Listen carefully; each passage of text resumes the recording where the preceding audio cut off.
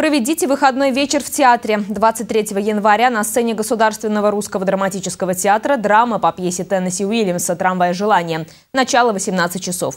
В воскресенье в 12 часов музыкальная сказка «Муха-цокотуха», а в 6 вечера – «Водевиль по Стерлитамакски».